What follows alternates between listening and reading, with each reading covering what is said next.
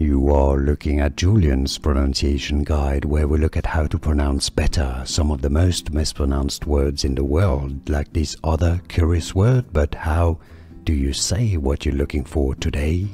We are looking at how to pronounce the name of this Spanish author, as well as how to say more interesting but often confusing names from literature that many get wrong, so make sure to stay tuned to the channel in Spanish. It is said as Don Quixote, Don Quixote, Don Quixote, Don Quixote. In English, it is often pronounced as Don Quixote, replacing the h sound, the jota sound from Spanish with an H.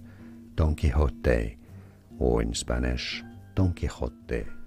Here are more videos on how to pronounce more confusing words and names too many mispronounced. Like this video if you found it useful, I appreciate your support. I'll see you soon and thanks for watching.